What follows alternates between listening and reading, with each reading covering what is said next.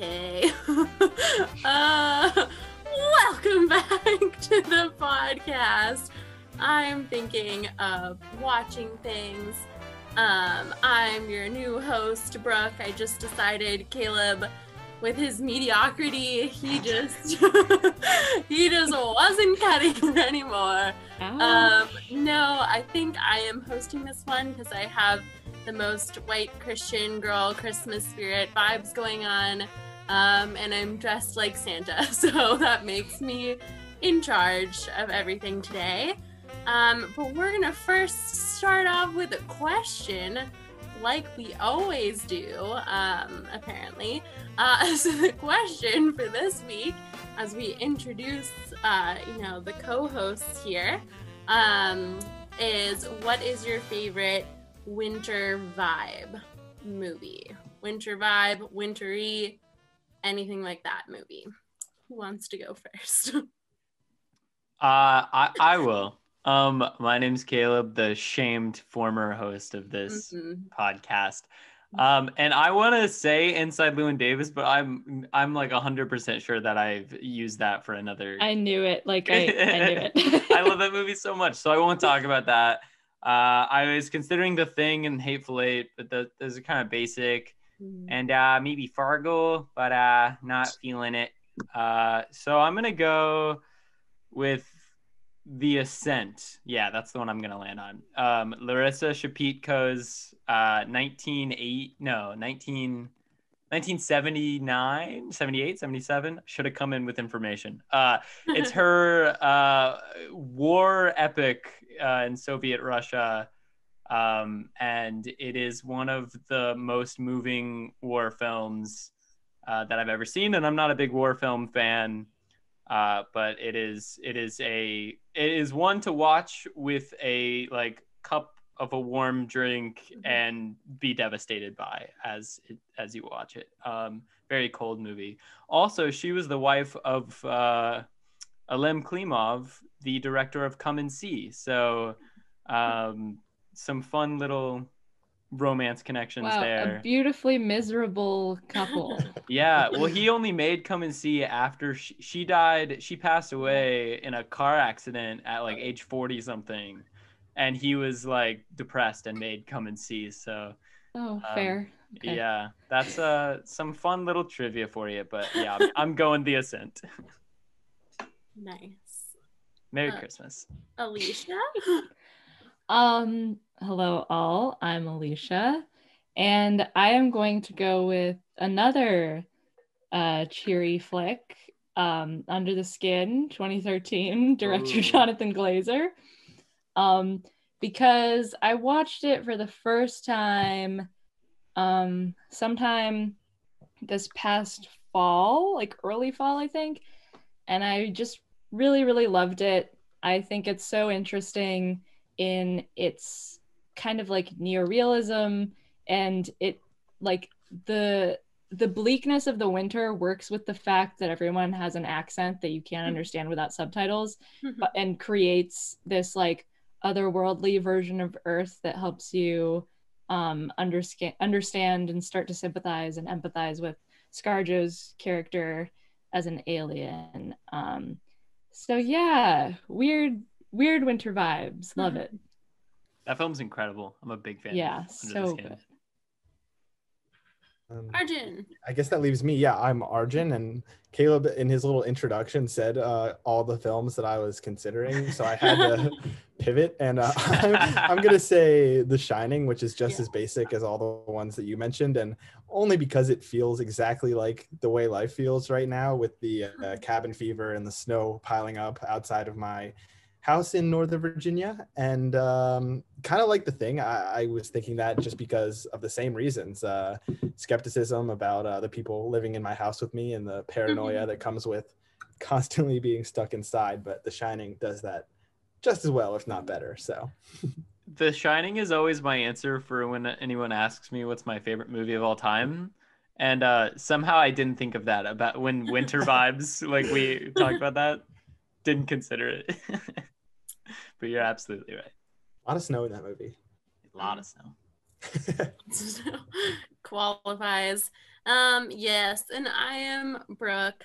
Um, I know everyone has mentioned basic stuff, and I'm just gonna say that this is the most basic episode um, for me that I will ever be. um, so I'm just gonna go ahead and put it out there and say snow dogs. Don't know why everyone else missed that opportunity. Um, but yeah, you have Cuba Gooding Jr., you have, you know, Alaska, and you have puppies. What more could you ask for? Um, if I'm being, you know, a film person, um, I guess I could also say another shout out to our Westerns class. There's this like, I think it's 1971, according to the Google search that I just did. Um, McCabe and Mrs. Miller. That one is really good. It's a Western. There's like like a house church thing. I can't quite remember, like catches on fire. There's just a lot of like running around in snow and trying to shoot people, which is oddly very calming and very soothing. Um, so yeah, lots of murder and snow, kind of like The Shining.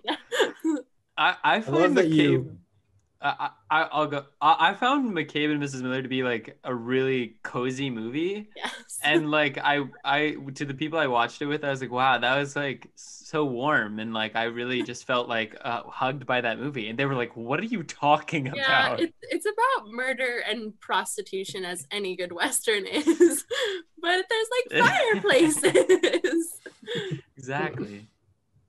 But Yeah, I love that you can't hear anything that anybody is ever saying in that movie. It really is just like a nice calming vibe to not be able to understand anything that's going on. I love it. yeah. Gotta love Robert Altman, man. Yeah. yeah. All right. Well, in case you couldn't guess it by our, well, my festive attire, um, today we are going to be talking about our top five loosely, because I can't make any decisions, but our top five favorite Christmas slash holiday slash holiday vibes movies. Um, so yeah, we're gonna just be going around, going down from five to number one. Um, and who would like to start with their number five? Caleb. Caleb Ah. would like to start. Um, he said, I didn't prepare. Yeah, I meant to I really wanted to go back and rewatch a lot of those like 20, 30, 40 minute claymation Christmas Mhm. specials. Mhm. And those will definitely appear on my list later, but I didn't get a chance to go back and actually like refresh my memory on a lot of those. So I'm going to start with one that I watched tonight Hmm. uh, because I heard it was a Christmas movie and I love the filmmaker, so I had to watch it. That this my my number five is My Night at Maud's, uh, which is one of Eric Rohmer's films, uh, one of his more lauded films. Um, Roger Ebert said that the the titular scene, the night at Maud's, um, was one of the most magnificent expressions of humanity he'd ever seen on film. Um, and I don't know that my praise is that high for it, uh, but I do love the films of Eric Rohmer, and uh, this was a it was it's it's it's one of those like kind of Christmas, kind of not movies because it takes place mostly on Christmas Day, but the characters like have like maybe four or five references to Christmas, and it's not really the central um, like pop plot pusher. Um, but there is a Christmas tree in the background of Maud's apartment, so uh, I think it counts. And uh, it's just a a film about a, a devout Catholic whose Catholicism is called into question when he uh, comes into contact with Maud, and there's seduction and romance, but also just lots of talk of philosophy, as any Rohmer film, uh, as all Rohmer films do. Um, yeah, I, I enjoyed it. Not not my favorite Rohmer, even though it's a lot of people's favorite Rohmer. But uh, yeah, that, that's gonna be my pick. My night at Maud's. Alicia. Okay. I'm gonna do a quick little mental roulette here. Um, okay, actually, I'm gonna go with one that yeah, it belongs on number five because it doesn't belong higher. I'm gonna go with um Meet Me in St. Louis. And I'm saying Louis, not Lewis, because if you know the tune of the uh the the, t- the titular song, um, that's how it goes.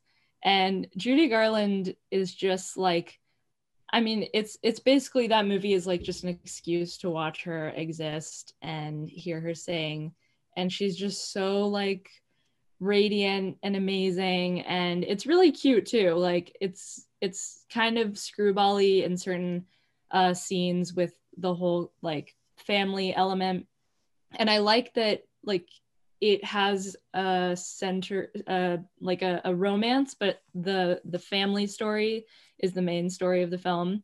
Um, and i've always thought the world's fair is such a cool thing and i would love to like go to a world's fair. Um, and because the movie centers around the world's fair in st louis um, i think that's like a really fun uh, a really fun setting and set piece. And um, also though uh there is this like halloween uh sequence that's genuinely terrifying because like this is where you know halloween like the early days of halloween in like mischief night era where kids would just run around like wreaking havoc on their towns and um like lighting things on fire in the street. They just like steal furniture and like light bonfires in the middle of the street. Um and the main like the main little sister tootie is a little shit. She frames uh the guy that judy garland is trying to get with um well doesn't frame him. She spoiler alert uh falsely accuses him of um something uh unkind. But it's okay. In the end there's a happy ending. I like that. It's sweet. It has great musical numbers. It has have yourself a merry little christmas. Iconic. Um and uh yeah and the trolley song too. Yeah it's just sweet. It's not amazing or anything. There's some parts that are racially strange. Um but it's a solid christmas flick to rewatch over and over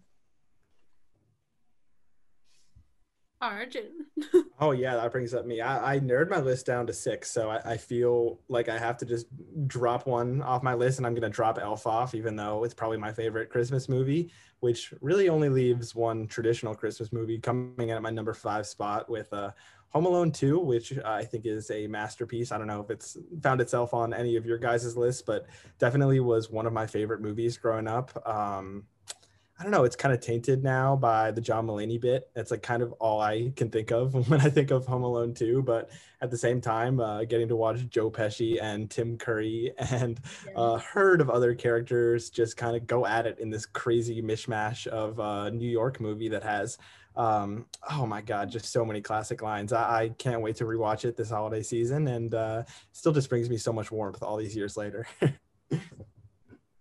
Awesome. All right, I'm coming at you with another quality film for my number five. Um, is the absolutely horrendous, uh, made for TV. We're bridging into Hallmark movie territory. Uh, Holiday in Handcuffs. Don't know if anyone has seen it, but you should. Mario Lopez, Melissa Joan Hart. She kidnaps him at gunpoint um, and makes him pretend to be uh, her boyfriend for the holidays so that she doesn't disappoint her family. Uh, touches a little too close to home. I'm gonna try not to. brooke to, what have you done you know, it's it's fine. There's a body in my trunk. I forgot to feed him, but well I, yeah, yeah we all knew that but yeah, yeah, but there's another body in there. Um, but yeah, it's it's just great and it's so bad, but so good. What's my favorite part? There's like a part where Melissa Joan Hart in in a very very bad stunt double scene, um, like ice skates around this little pond with Christmas lights. And I think I like it because my mom and I always watch it together. So that's my like sentimental reason for liking it. Um, but I also just really like it. Would enjoy it as a film. So yeah, catch it on any like freeform or ABC channel or whatever, family channel. Um, yeah, just watch it when you don't have any other options for watching things, and then you'll like it. wow, high recommendation, Brooke. Yeah, well, it's my number five, so you Mm. do it too much praise. But yeah. All right, moving right along to number four. I'm assuming I'm going next, and we'll just keep this little Yeah. rotation if don't going. I just I feel like there's a greater chance that I'm gonna mispronounce one of your guys' names for some reason. Even though I've known you all for several, several years now, I think it's just the more the more chances I have, the higher probability of doing that. So if you wouldn't mind just keeping up this pace, that'd be great. sure, sure. Um, sentimentality, like you just mentioned, should play a role in these lists because I mean that's what Christmas movies are. Like it's watching things, you know, in a yearly ritual with family or friends or um and that's that that's always like a very important aspect i feel like of christmas movie watching. Um, but this one is a kids christmas movie that i watched the other day for the first time. Uh, number four is for me going to be uh, a muppet christmas carol um, i have little to no experience with the muppets which is sacrilege in some circles but i just never watched them growing up um, and i'm realizing now just how much of a mistake that is because it was just delightful. It was a delightful little film. Um, and I would have loved this one in particular when I was a kid, if I had watched it as a kid, uh, because it's terrifying. Uh, and I loved things that scared me as a kid. And I would have been so scared of the ghosts that come and visit uh, Michael Caine as Ebenezer Scrooge. Uh, the, the the main one being the ghost of uh, of Christmas, not future, not the ghost of Christmas past. Yeah. Um, she is like this floating like monster and it is terrifying like ju- if you want to be scared look up like ghost of christmas past muppet christmas carol and it is it is genuinely horrific um, and i would have ate that up as a kid I blocked this out of my memory. I haven't watched that since I was a kid because I remember it traumatizing me, and that is why. So thanks Yeah. for resurrecting my trauma. Of course. Uh, wouldn't want to bury that. Um, but yeah, it's just so funny. Um, one of my favorite lines was like, I, I pulled it up just so I don't mess it up. Um, but like Kermit asks, like, um, I'll do the voice. Um, if you please, Mr. Scrooge, it's gotten colder, and the bookkeeping staff would like an extra shovel full of coal for the fire. And then one of the rats says, like, we can't do our bookkeeping. All our pens have turned into inksicles, which is like the silly, like, kids will laugh at that. And then the next little rat says, our assets are frozen. Very funny. Just so good. And like kids, like, over your head. But like, as an adult, I was like, I get that. I understand. Um, and there's just little lines like that are peppered throughout the movie. And um, I think that the uh, Christmas Carol is just not even one of the best Christmas stories, but one of the best stories, period, in like uh, storytelling, generally, literature, film, anything. And uh, any, literally any portrayal of Tiny Tim will have me like tearing up. And it's like a little baby Kermit that's like Tiny Tim. It's Kermit's kid, and it is like, it is heartbreaking. Um, and it, it it moved me, and I watched it as a 22 year old for the first time. So, uh, yeah, good stuff there. Muppet Christmas Carol.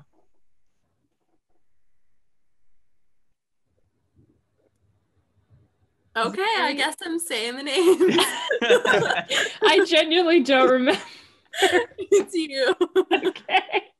I was trying to make eye contact, but it doesn't work with Zoom. yeah, I, I didn't uh, didn't pick up on that. I'll try to, Alicia, when I finish, I'll try to like nonchalantly pass the ball to you. Yeah, that's Like, great. I mean, hopefully about next time I after this experience I'll remember. But honestly, who's to say? I'm a little um, but say I'm a little out of sorts, but that's a regularity. Um, okay, I'm gonna go with um, da da da da dun. I'll go with Elf for number four. Yeah, cause it genuinely is like comedic gold. I'm sorry, no matter what age you are, like mixing the the sentimentality of like Christmas and all the themes around it and love with just like James Caan in New York City, like capital everything, like it's perfect. Um and there are so many jokes that I know that like some people shit on movies like Shrek that um children's movies that hide kind of like hide jokes for adults to get um because some people are just like, pick what kind of movie you are. Are are you a kids movie or are you an adult movie? Stop being obnoxious. Mhm. But I think it does it so well. There are certain things I didn't pick up on as a child. Didn't understand that he was drunk in the mailroom. Um, until I was much older. I just thought he was having a good time drinking um what like syrup or whatever or hot chocolate out of yes, a flask. Um but it's just great. And Will Ferrell is so charming in it in a way it's kind of like a born sexy yesterday uh gender swap which i appreciate and like you know that kind of thing can be very strange um just by nature. But he pulls it off. He's like i really like him in roles where he gets to be funny and weird but also have this like softness to him.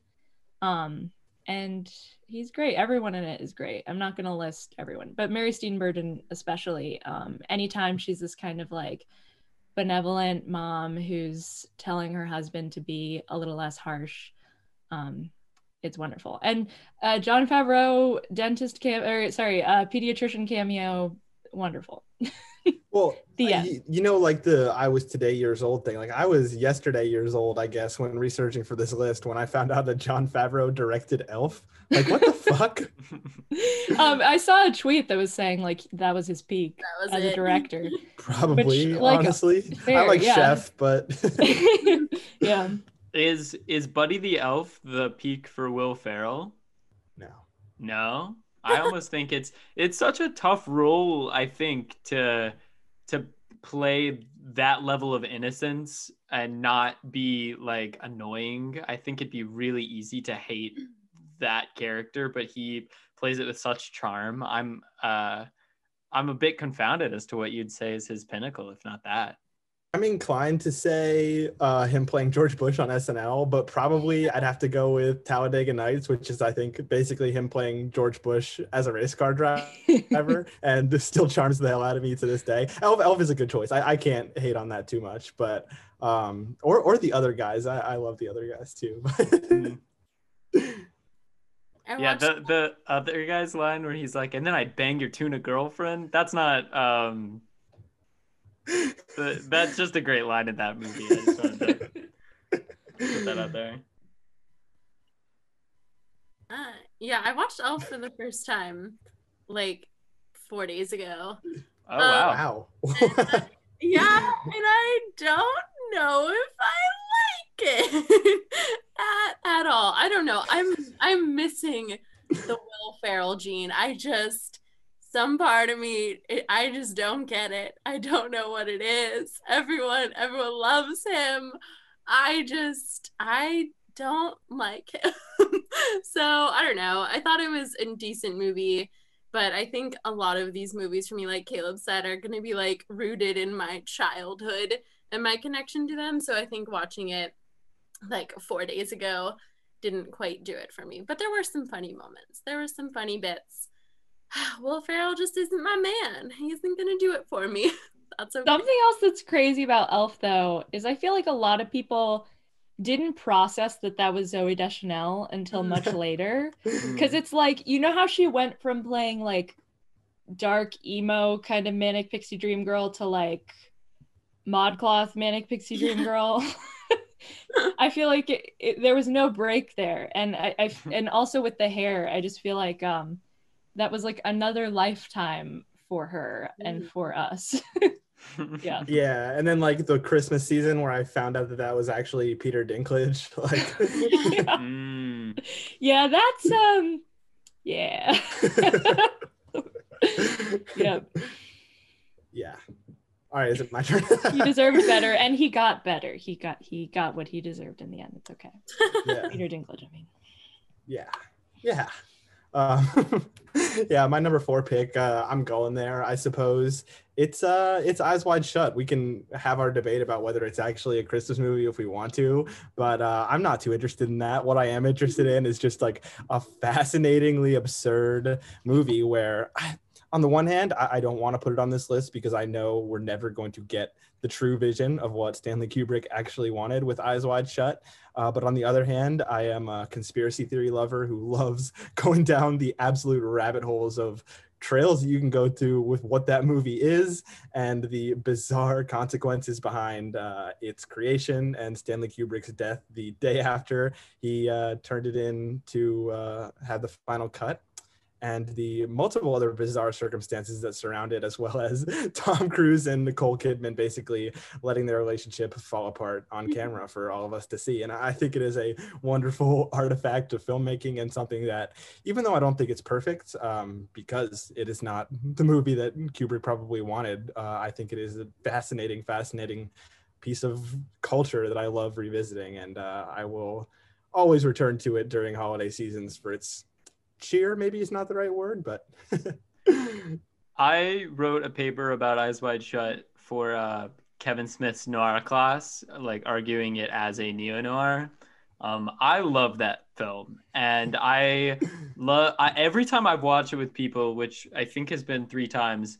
Everyone that I watch it with hates it, and they they're like, "What is this? Like, this makes no sense."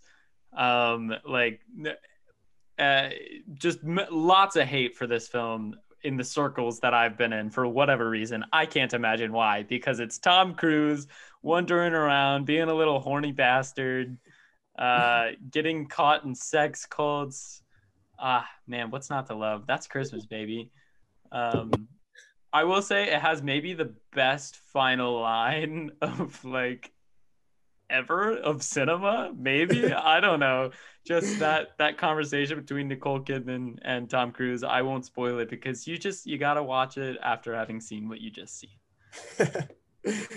oh my god. Yeah that, that is true. I, I, might like the Strangelove final line more in kubrick's uh, works but I, I, can't disagree with you there. And like a little tidbit that i, I love to kind of open up the rabbit holes of what you can go to uh, the journalist that Stanley Kubrick had consulting him uh, on the entire film is a New York Post writer who has been the first to capture photos and the first to break stories around multiple conspiracy theory type um, stories around the world, including being the first person to take a picture of Jeffrey Epstein's dead body. Um, and he consulted uh, with Stanley Kubrick on the making of Eyes Wide Shut. So do with uh, that little start to your Google searching as you please. oh my God! What if what if Kubrick was alive today for uh for the Epstein scandal? What what would what would our world look like? In a in a post Epstein world, like this film plays just even more harder. Like it's the the thing that I noticed on my last watch was like how much class commentary there is because I probably hadn't watched it since I I watched it in high school a couple times, and then I rewatched it for my noir class like last year, and it is like th- there's a lot in there about what the rich will do when they are rich and they can do whatever they want, and their humanity is untethered because there's nothing holding them back, and uh, whew, it's dark. That like i mean the themes plus the atmosphere in that i love the shining more um, but like I am far more terrified by Eyes Wide Shut. Mm. And I think a, a, large part of it is just because, like, that casting, I don't think Tom Cruise and Nicole Kidman have ever been cast better in a movie than that one because it is the perfect film for their specific genre, like, category of hotness, where they're both like horrifying people like like just very like beautiful and kind of like cold to look at and like sends a chill down your spine. But um also yeah and i saw another tweet recently that said the best thing about it was that it let tom cruise be short. That movie. Mm. um which agreed. Yeah. Alicia that was my tweet was that you? yes. Oh my god! In my wow, take that as a compliment because in my mind I was like, the, it was a viral tweet. I mean, you know, maybe it was. um, I agree. Yes. It is the yeah, best thing. It is. There, there is like that shot of him at the very beginning, um, at the party with him and just like two women by his side, and both of them are kind of towering over him. Yeah, it's wonderful okay. Um, seen that movie. so you know, gotta catch up. Um, but yeah, we're we're gonna have apparently a bit of a tone shift here. Because I hope so. because my number four is the Santa Claus. um, you know, same, basically the same conversation we just had. Critically acclaimed, eat the rich. You know the deal. Sex Um, cults. He's going, oh my god, full of it. What do you think that trip to the North Pole was? There is murder, There, well, yeah, may, manslaughter, manslaughter. I don't know, Manslaughter like- of maybe Santa some Claus. implied murder. But Santa put himself in that position, right? To be on an icy roof. It's oh, not Tim wow. Allen's Okay, fault. Caleb. Like, you don't have Tim Allen was just defending his property, damn it. Okay, sure. Yeah, I bet he thinks that. yeah, so that's my number um, what what else can I say about it? I don't know. Tim Allen just being his best bad dad. Um, we love to see the the transformation of his body there. Um, love it. love my favorite scene is when his uh his heartbeat at the doctor is like to the tune of jingle bells or whatever. Just amazing. What you can't beat that. Um and then like I don't know. It's just good. Just good. All right. Number Speaking of uh, Wait, cr- I I'm sorry. I would say the costumes in that movie are fantastic. Like uh, besides the North Pole, the Mm. sweaters that Judge Reinhold Yeah. wears, and also everything the wife wears, I want. It's like peak. That woman, I think of her as like not Courteney Cox. I don't know what her name is, but she has great hair I think that's and it. great like like kind of peasant blouses and Mm. vests, and I want it all. I know for some reason like every like I don't know hot Instagram girl wants to be wearing the sweaters from that movie. Like that for some reason that's their aesthetic. And I'm like all right but I can only think of you as being ready for the Santa Clause being Neil or whatever. Yeah, Neil, the original VSCO girl. Yes I still can't believe that they actually made an entire movie based off of a legal clause um, titled "The Santa Clause," but I'm not going to dwell too much. they- on it. how how old how old were you when you realized that it was a pun? You No, know? I spelled Santa Claus that way for most of my life. yes um probably about 12 not too long ago but you know I had my wits about me uh was it, was the Santa was it the Santa Clause one, two, or three that has the the toy soldiers that are The life sec- size? Second Oh, one. no second, right? yes yes second one honestly really like it he's trying to get a girl he so he creates the toy version of himself that is very disturbing It's Uh, it's It's so scary. very disturbing. The third one is the Jack Frost one, though, right? Yes, Yeah. Mr. that one Martin is the best one. I'm sorry. That's best one I think so. I really love Jack Frost in that movie. Oh yeah wait who plays him Martin Short. yeah is it really? Yeah. yes Oh, that's Uh, yeah, it- they created essentially an entire like cinematic universe. They have they have the Tooth Fairy there. They got Mother Nature, the Easter Bunny. Uh Sandman. Sandman. Yep, yep. That It rascal. He's always falling asleep. Just keeps getting better and better. Except for the third one. I don't understand how that could be Arjun's statement. It peaks at two, and then we don't talk about it from there. The Um, the Santa Clause 2 is one of my earliest memories of watching something in a movie theater. And I haven't seen it, I don't think, since I was probably like six or seven, like watching it on VHS or whatever. But I just looked up like the the picture of the toy Santa that it makes, and I like had chills down my spine. Like It's that like essentially body horror. it really is. Oh that my is the intended reaction. I would also just like to say, because I assume this will be the last time we talk about Tim Allen ever on this podcast, that you shut your mouth. I mean, well, um, I would just like to shout out "Christmas with the Cranks," which is just is it okay? Well, Of I'll course. stop. I'll stop. no, no, no, no. Of course, because yes, me, me too. Well, I, I wanted to make sure it wasn't on your list. I don't want to be stepping on your toes here, but No, Christmas no, with the go for it. Cranks uh, with Jamie Lee Curtis is a masterpiece. That's all I'll say. It's a horrible movie, but yeah, I mean, but like a masterpiece nonetheless. that is something my sister forces me to watch like every day.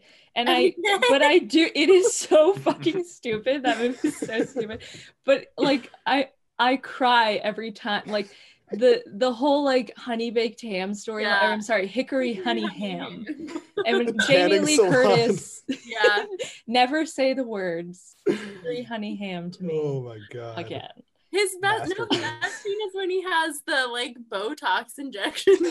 He's eating like fruit, cubed fruit. yeah, he's trying to eat like canned peaches at the hospital. He's choking it Ah. down like a real man. and it's Next very- week Free on Frosty? the uh, very Free Frosty.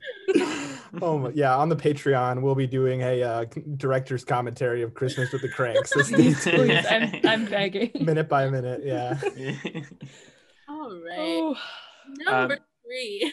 Caleb. Yeah, please get us All on right, this. away from one Christmas horror and onto the next, because I'm gonna pick Black Christmas as my third title. I was gonna do Eyes Wide Shut, but you know, gotta pivot uh, to another movie about Christmas. That's like not really about Christmas, but it is, um, because Christmas horror is it's kind of its own genre. But um, yeah, Black Christmas is an early slasher, 1974. I'm talking about the original, by the way, none of the none of the shitty remakes. Um, and I there's not a whole ton to say about it other than I think it's just a really well put together slasher. Um, it's set in a sorority house, so if you're having nostalgia for college, you can go back and and watch it. Um, I, the final, I I don't really get scared by horror movies just because I watch so many. Um, but the final minute to just the final shot, um, chills like genuine.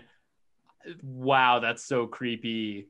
Um, w- way more than most kind of 70s schlocky slashers will give me. Um, there's there's a dark realism to this film that uh, is is lost when you get to stuff like Friday the 13th and and whatnot. But um, yeah, I'm gonna go Black Christmas.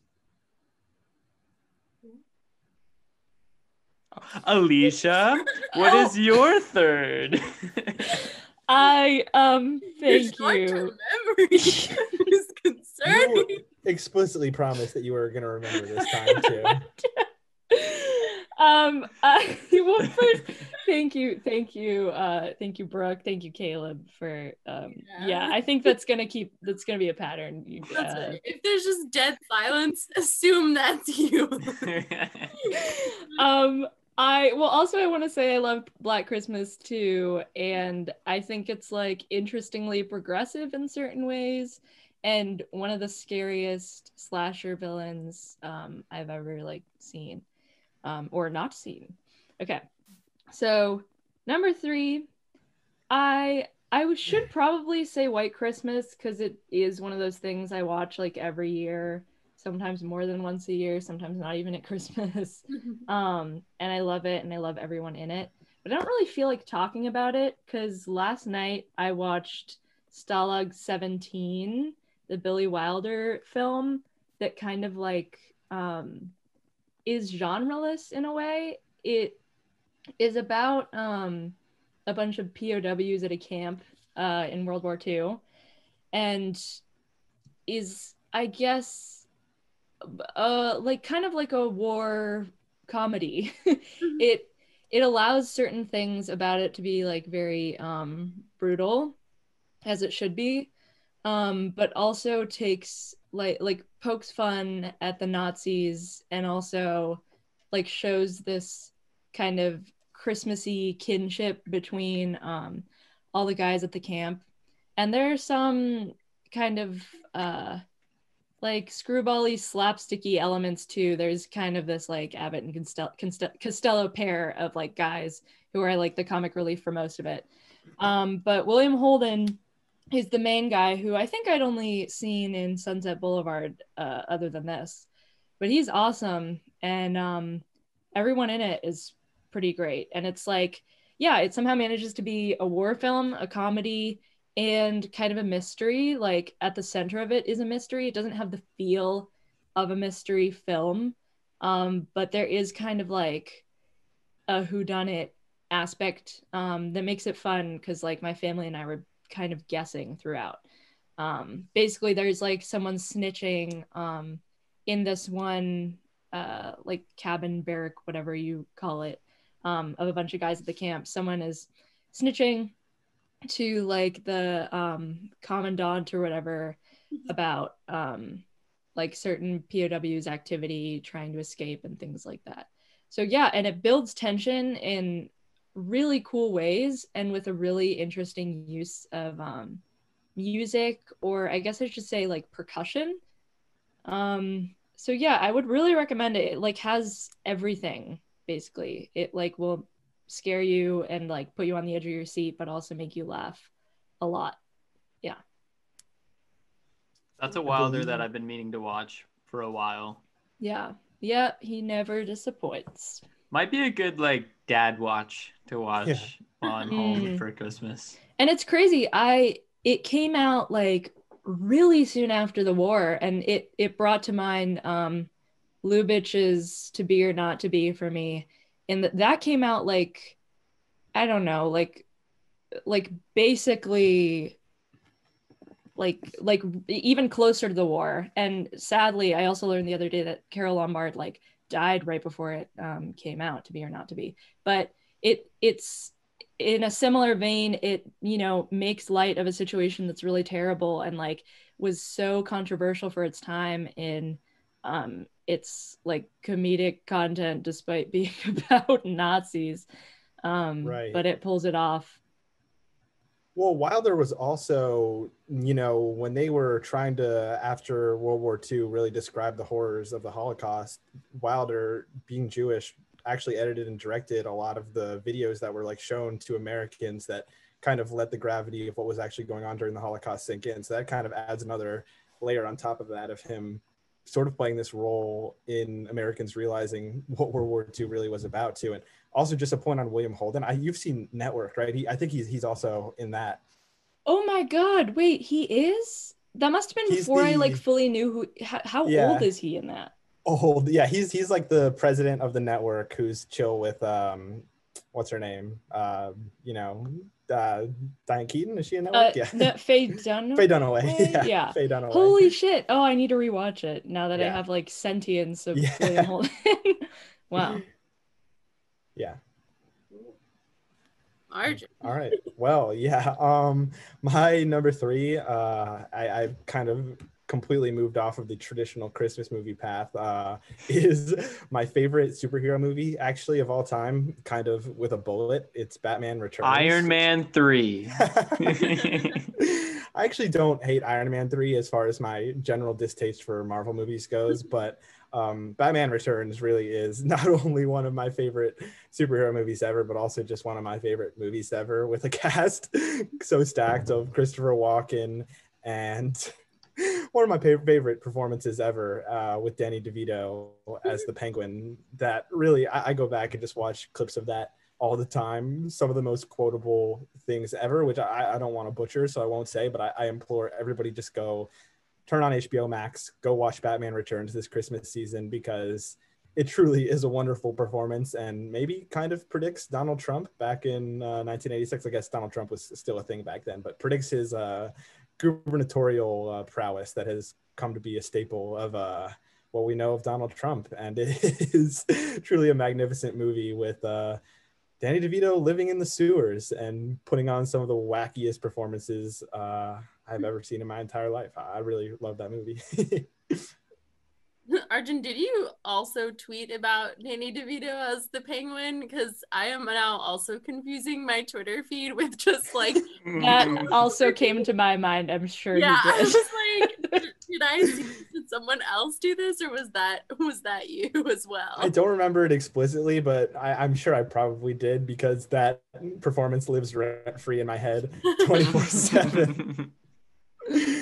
Uh, his, his most iconic quote being, just the pussy I was looking for in response to uh, seeing Catwoman for the first time. So great movie. Go check it out. a quote we can all use on the regular. um, all right. Yeah, I don't know if this pairing between Arjun and then me going is working well, but yeah, another tone shift. um, I'm gonna go with uh number three, very basic again. Um, Love Actually. This is one that I like did not grow up watching and watched for the first time like three years ago. I don't know. It's just like British people being hot and being cute. Like, what else? What else do you need from a movie? It's just like everything that I want from Harry Potter during Christmas. um, but yeah, just good. What's the little the little kid that then was in Game of Thrones? We've like Thomas Brodie-Sangster. yes, yes, that's just him at his peak adorableness. Um, and then he like grew up and did weird stuff like Maze Runner, but you know he's still cute now. I don't. I Queen's don't, Gambit. He's yeah, great. yeah, yeah, yeah, yeah, and wearing a cowboy hat and being good at chess. Ugh, we love to see his growth. Um, but yeah, Love Actually, I watched it like I think a couple weeks ago, and it just gets me in, gets me in the good vibes, just like it, and everyone's cute, and everyone deserves love at an airport.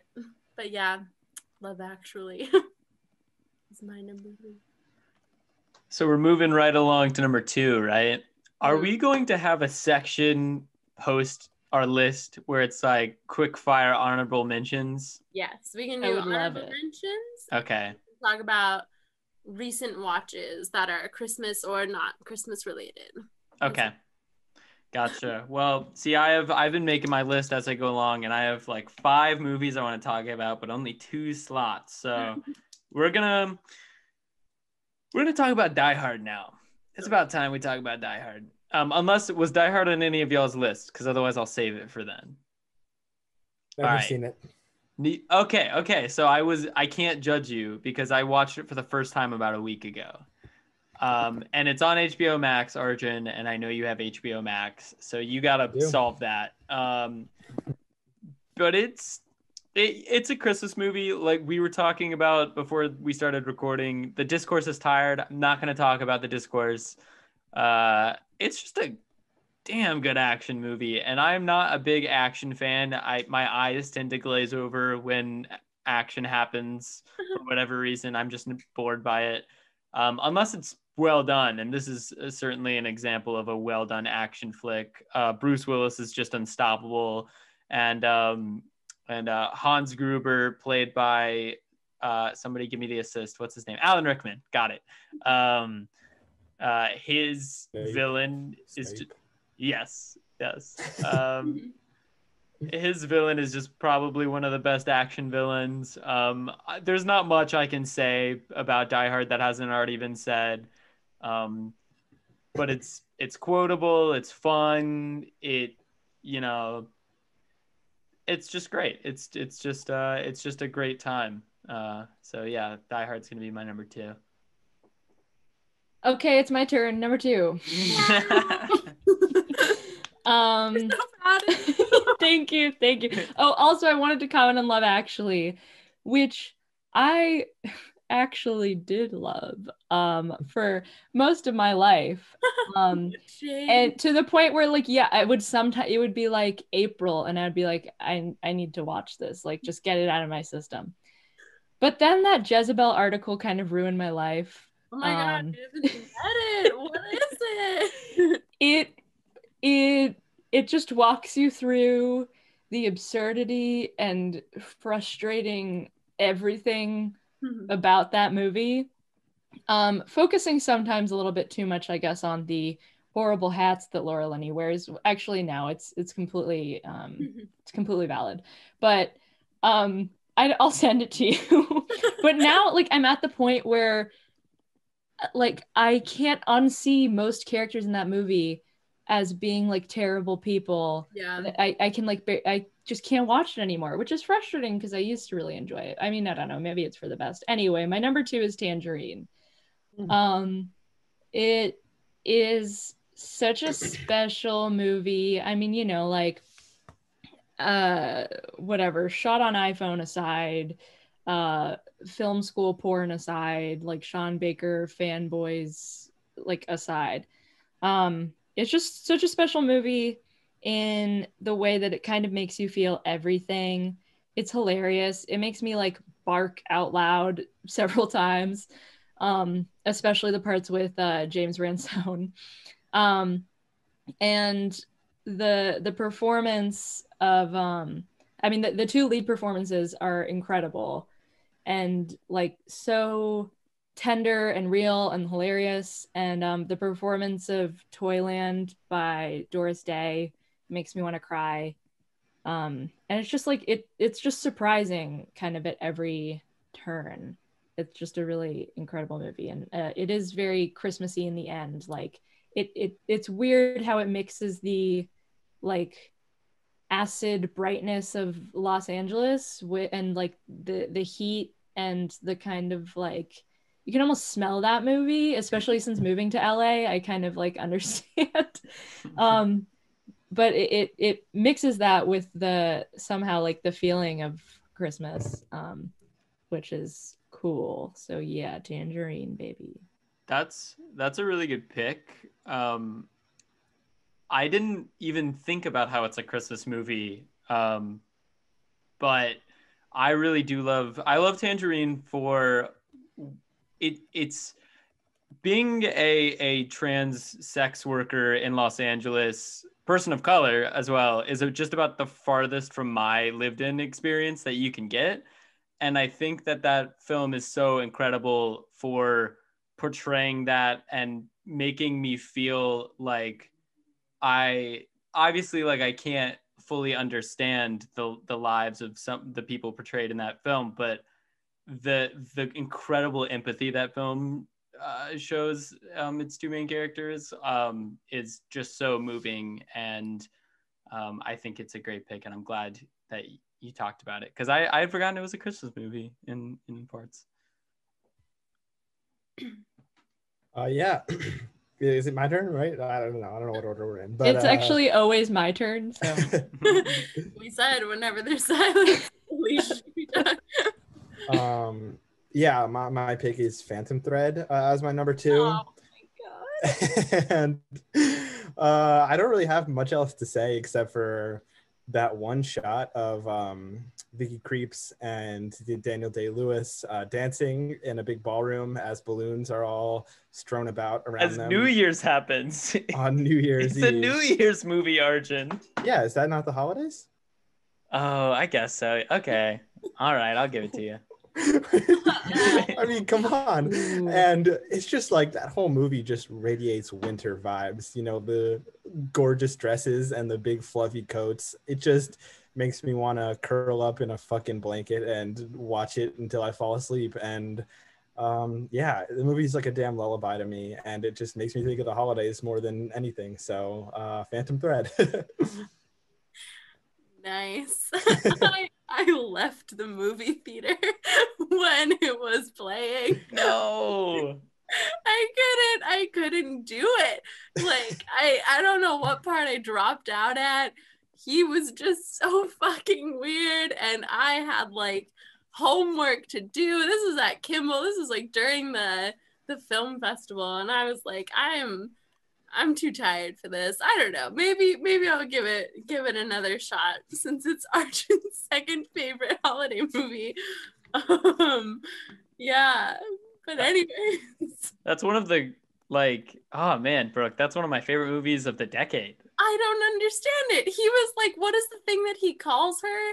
He calls her like something weird. And I was like, I'm peacing out. I don't I, I Did don't you at, did you at least get to the point where he looks at her and, and says, Are you an, a special agent sent here to ruin my evening and possibly my entire life?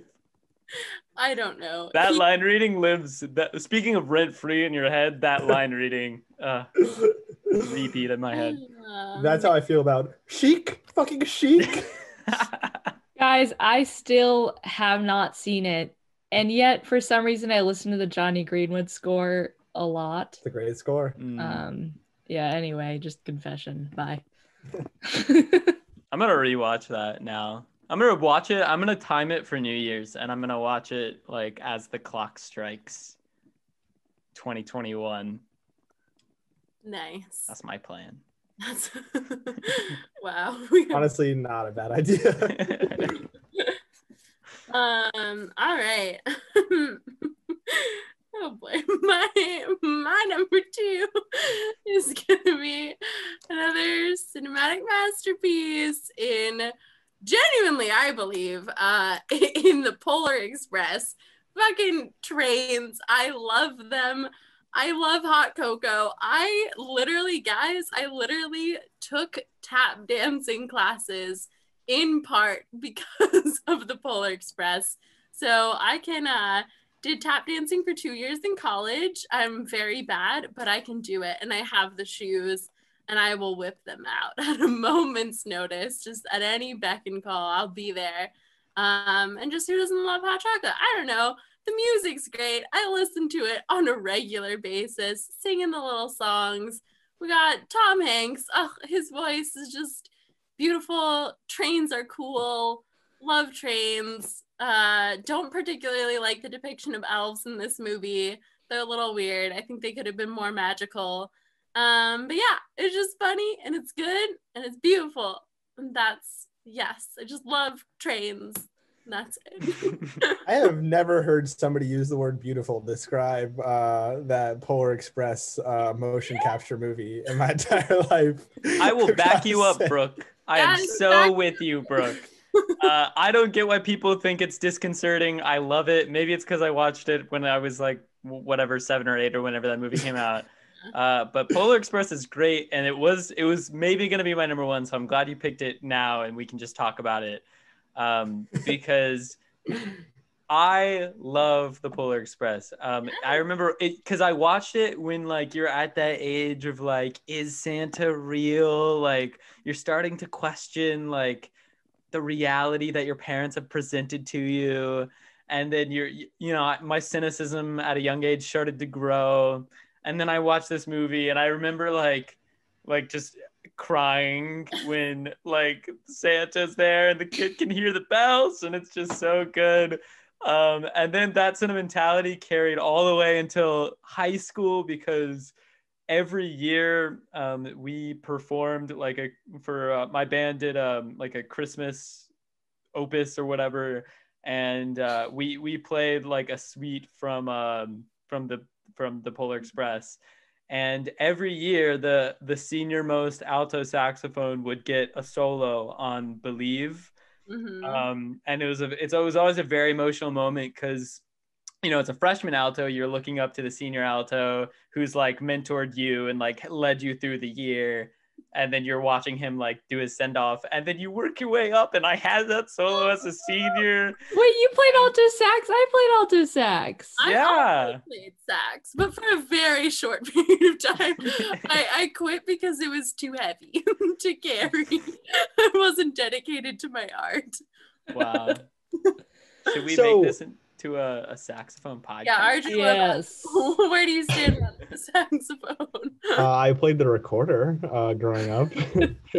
Numerous other instruments, but none of them uh, of the what, what kind of instrument are those? Brass, woodwind don't know. woodwind. woodwind variety. um, okay, I'm sorry, but you, do do none of you guys find the Polar Express to be like a major uncanny valley? Or yes, I- no. on I? I also recently was like, okay, I have not seen this since I was a child, and the only things I've seen of it recently are like, I think on one of the Harry Potter DVDs. There's that you remember like how the marketing for this was like a really long. It was just like the first scene in the movie, right? Yes. I think it like on the third Harry Potter movie or something, something we watch a lot. I see that all the time. And there is something like you know, you just get a glimpse of it and it's very haunting and I was like, "Oh, I think I remember this movie being like haunting but in kind of a cool way and like in a magical way." And recently it was on TV and I was like, you know, I'm going to see if this like was actually good or if it makes me want to like crawl out of my skin. And yeah, I watched about like three minutes, maybe. It is a one way ticket to the uncanny valley. I can't like I really I can't condone it. I'm sorry. Just like pre- pretend you're playing a, a PS3 game and let it vibe, okay? okay, okay. Yeah, I really don't. I don't know. They're. No, I don't know. It- it's fine for me. I'm like, I guess there's some like spooky undertones, which maybe Caleb subconsciously likes. Um, definitely, like, definitely with the there's like the ghost train rider. I, Tom Hanks just brings it fucking home for me. Like his performance, he plays like seven characters in it or whatever, and he's just so good. And then the music, like I literally will listen to the soundtrack, like just independently, sing all the parts. Um, yeah, I think in terms of the Uncanny Valley, like I said, I don't like I think the elves look weird, and then that's it. I don't know. I'm fine with the children. I just like the little message I asked for. There's just something What is the message, Brooke? Tell me what the message is. fucking Believing, believing bitch. That's what it is. It's But like in not just Santa, but yourself yes. and love and family. Yeah. We have but a like what uh, song- if when you know, grow what what Wait, about like- when you grow up? he still hears the bell. That's that's the that's the message. Sa- Santa is not just Santa, the physical form, but it's the general belief in goodness in the world. It's the So like what happens if you don't believe? I mean, you're an atheist. And you're a little- don't believe Jesus, right? My understanding I is it's like Santa. like it's like if the kid believes in Santa hard enough, he'll get the bells. But if he doesn't believe in Santa hard enough, he won't get the bells. It- and- it's not like a degree. It's not like hard to not hard. It's like yeah, it's a binary yes But or only no. one person gets the present, right? Yeah, no, no, no. You have missed the point of this. yeah, wait, why does he get the present when he's the last one to fucking believe, huh? Just because Right. his name is Hero Boy? He had the biggest That's his journey. name. really sets him up for. also, also, how come for this magical train, if you lose your ticket, you can't just like look on a directory and find out that he was like on the list of people? Like, it, there's just so many Yeah. inconsistencies. It do, it's inconsistent because we know we know there's only apart- one rule. We know there's only one rule. It's something to do with hot chocolate, right? Can Hot you tell me what it is? No. We got it. hot, hot, Don't hot, hot Spill the hot chocolate. Is that it? Never ever let it cool. Yeah, yeah, yeah, yeah. well, if Santa's so magic, Thank why you. can't he my just? name is Griffin Newman. Good night. no, no. I think it's okay. Let's let's be serious here for a moment. I take this film very seriously. It's no phantom thread, but you know, um, no, no, no. I think it's mostly about kind of like similar vibes with the Santa Claus.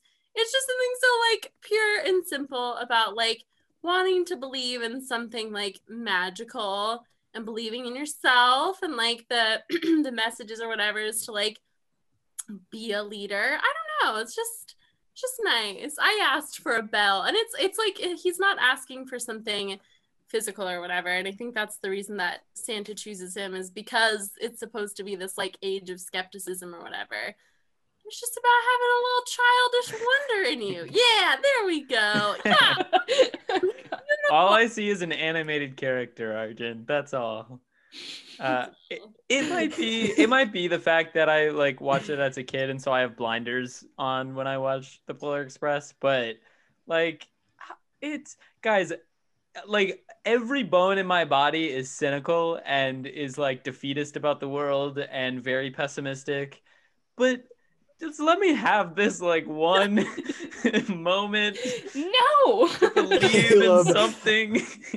I think I, I don't want to. I don't know when the last time you guys watched the Polar Express was, but like two weeks ago. Two weeks ago. I'm gonna watch it tomorrow. I would implore you, and I think we should have a further conversation on a different episode Sorry, about this All right. Listen, Or I actually I live I, commentary track.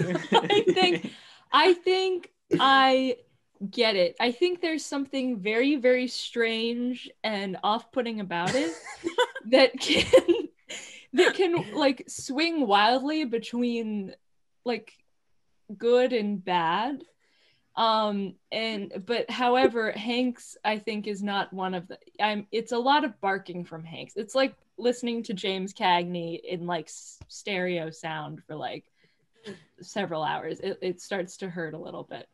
Um, but no, I get. I sort of semi almost kind of get it. you do have to you do have to give the film credit for being like so weird and original Yes. like there hasn't i can't think of a christmas movie in, in the last decade let's think 2010 to 2019 that like played on this level of like expensive originality it is a blockbuster that is like its own christmas story that i mean maybe it was based on a book. I don't It know. was based on a book. Okay. a book which I like is another element of like I love Chris Van Allsburg more than like anything in the world. And I do I do think the movie does a good job of like his illustrations are so like otherworldly and unique and like they have this serenity that's a little bit haunting that I think the movie does which is cool. But I'm sorry continue uh, that's i mean uh I think we can put the the Bull Express to rest. Um, we'll do a whole episode on it someday. I'm not worried. honestly, We man, gotta I'm do a follow up. Um, are we are we moving on to to number yeah, one? yeah, bring Yeah. it into the station with number one. um, I'm going with a classic Rudolph the Red-Nosed Reindeer. Um, it is the probably the Christmas movie I've seen the most. Um, other than maybe maybe weirdly Frosty Returns. I feel Mm. like I see that movie every year, like on accident.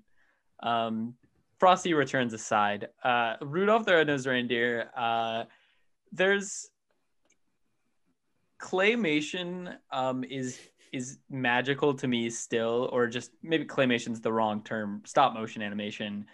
Um, and there's a level of artistry to it that I really appreciate and have continued to appreciate. And it's like it still fills me with like childlike wonder watching like these real life little puppets move around. Um, and uh, yeah, I mean, just look at the characters in Rudolph the Red-Nosed Reindeer. Like Yukon Cornelius, great character. Uh, the Abominable Snowman, great Yeah. character. Hermey, the elf who wants to be a dentist, amazing, amazing. My little brother um got used to get made fun of when he was a kid because he looked like Hermey. The, the elf who Poor wanted guy. can you send can you send pictures Yeah. I'll try to put put a picture in the YouTube video. Um, but yeah, I just remember my grandma had this on VHS, and one of my just like favorite childhood memories is driving up to visit my grandma, and she loves movies, and she's like the only other movie lover in my family, and so like she would, it would just be me and my grandma hanging out, uh, watching like VHS copy of this and like a year without a Santa Claus and like those those sort of stop motion animation specials. Um, yeah, I I have a real affection for Rudolph the Red-Nosed Reindeer. Yeah, great movie. I love this. The songs are so good, especially uh, "Silver and Gold." What a what a banger! Um, I love that pick. Um, and I so I was thinking about doing a Charlie Brown Christmas, but I wasn't sure because it's like 25 minutes long. And also also my top pick, like I don't know if it would get mentioned otherwise, and I love it so so much. So I'm gonna talk about the shop around the corner, which speaking of Ernst Lubitsch is another one. So it turns out to be or not to be and the shop around the corner were both made like during technically during the war. Um shop around the corner was 1940 and it's the og you've got mail. Um that's like it's basically the this original source material there. So it's like a rom-com with jimmy stewart and margaret sullavan. Um in budapest in the like like time leading up to the war um, and it's really just like one of the most charming movies you'll ever see. It's like impossible not to be charmed by it. And it's also sad in a lot of ways. Like the it deals with like the warmth of the holidays as well as the like overwhelming loneliness, unfortunately, for some people. Um, what isn't Christmas like like doesn't it have one of the highest suicide rates or something like that? I don't know. I've heard that in life. Um, which is sad. But like I think that that's something that I don't see not just like suicide on Christmas. I mean just like the um the fact that it's so family centric Yeah. um and like how that can be like cripplingly lonesome for some people it deals with that without you know going too sad or like too tragic most of it um is really interesting in terms of like the political setting and just really sweet in terms of the like central romance and um it has like one of the best kind of um confession of love monologues that I've ever heard. So I would highly, highly, highly, highly recommend to like anyone. You can watch with your family. It's super, I think it's like a crowd pleaser. Um, yeah. One of my favorite movies like of all time, actually, I think. Oh, cool.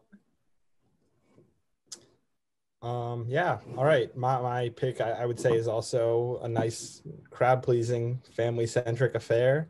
Uh, the Good Luck Charlie Christmas spe- No, I'm kidding.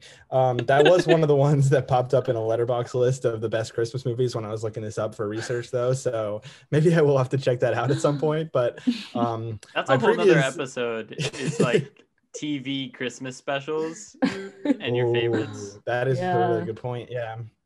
Um, but yeah, um, my my number one holiday movie is Uncut Gems, a movie I just watched for the Oh. first time, or uh, for like the I, I suppose according to my Letterboxd, I just rewatched it for the fifth time uh, two days ago. I, I have it on Blu-ray, DVD, multi-format, and uh, was feeling myself uh, a little bit drunk a couple nights ago, and was just like, you know what would really hit the spot right now? Uh, watching a little A, an Uncut anxiety Gems. attack? Well, it's to the point at this point where, you know, having seen it a couple times and knowing what's coming at the end, it's really more soothing than anything. And you really get to enjoy uh, his big wins throughout the movie without having to feel the pressure of what's coming next. So I, I don't find it quite the anxiety attack that I did uh, the first time or two that I saw it. Um, but it really is a wonderful movie and really got me in the holiday spirit, which I, I don't think I was until I watched it, weirdly enough, despite having one scene of a reference to Hanukkah and no uh, references to the holidays besides that. Um, really just made me feel uh, really at peace. And as somebody who I'm not a super religious person. My, my family celebrates Christmas, but like the commercialized version of Christmas, not any sort of religious version. So I don't really have any like bearings or ties to uh, any sort of Christmas um, spirit, I suppose, despite, you know, liking the season and liking the jolly fat man with the beard. Um, and Uncut Gems and the pure high uh, that he gets from winning those bets really just, uh, you know, embodies the Christmas spirit for me. And it uh, put me in a holiday mood and not the Christmas spirit, the holiday spirit, the winter spirit. I, I randomly associate that movie also with the, the holidays, and I think it's because I probably saw it like Yeah. around Christmas. So, uh, Yeah, that's I- also I'm- my most rewatched movie of 2020. I guarantee it. I've probably seen it four or five times. Yeah, I think I'm in the same boat because I, I took a trip up to New York City because I the trailer was so good. I was like, I just need to see this movie right now. So last December, I, I took the train up and I was just like, I gotta see this uh, two weeks before Christmas. And then you're probably right. That's probably why it sort of lives in my head as a uh, holiday season movie. Cool. Not gonna lie, I was not expecting to talk about Phantom Thread and Uncut Gems in this episode. Thank you, Arjun. Um, all right, I'll I'll bring us home with I'm going for sentimentality over quality here. Um, although this movie is also fabulous in every way. Uh, I think you guys thought I was kidding about this, but literally Barney's Night Before Christmas is my number one pick. Um, like we- the dinosaur? Yes, the purple dinosaur. Okay. you know him. We know him. Uh, you you weren't confusing it for anything of higher quality. Um, I don't even remember like watching watching Barney particularly like as a small child. Um, but we always, my parents and I always watch this for some reason. Um, and so we've just kept the tradition alive. Uh, even though I'm pretty sure my dad um, is close to suicidal ideation each time we plug it in. Um, but you know, he according to Alicia, that's part of the holiday season. God. he's in his own spirit that way. He's like, ah, Yeah. yes, I'm on the verge. Uh, actually, all of those numbers are just viewers of Barney's Christmas special. it really tips you over the edge if you're already there. Um, but no, no. It's a fun family watch for everyone. It's basically my favorite musical. Um, yeah, I just get really into the dance numbers there. It's not good by any means. It's great. And um, yeah, I literally do a little dance. There's one about like wrapping up presents. I think it's honestly one of my favorite like depictions of Santa Claus. I have no idea who the actor is, but he looks like the best grandpa in the world that has like a mean sugar cookie recipe. And I just want to like sit on his lap in a very non-sexual way, just to like get some love. um, but yeah, he's adorable. Basically, the plot. Um, I'm sure you guys have all seen it, but in case you need a reminder, um, they Barney, Barney and friends are like, oh my gosh, no one ever fills Santa's stocking. And then they have a little snow globe and they journey to the North Pole by some sort of dinosaur magic. Um, and then they make little gifts for Santa and they put them in his stocking.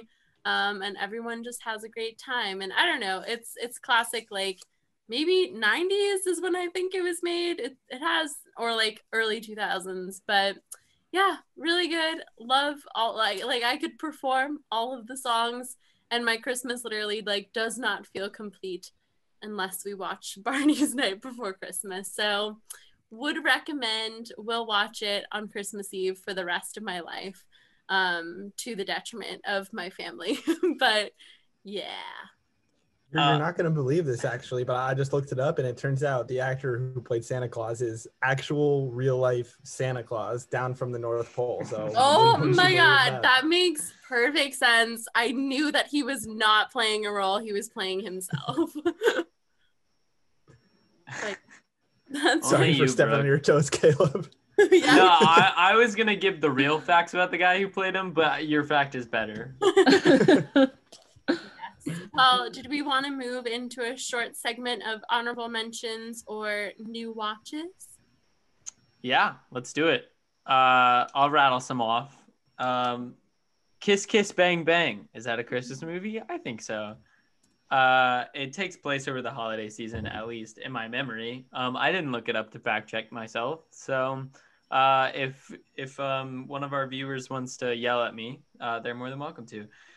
Uh, we'll also mention the Frosty the Snowman. I did mention those animated uh, movies. I definitely have an affection to because my grandpa loves Frosty the Snowman. That's like his favorite holiday, uh, like mascot, and so I'd always watch it with him.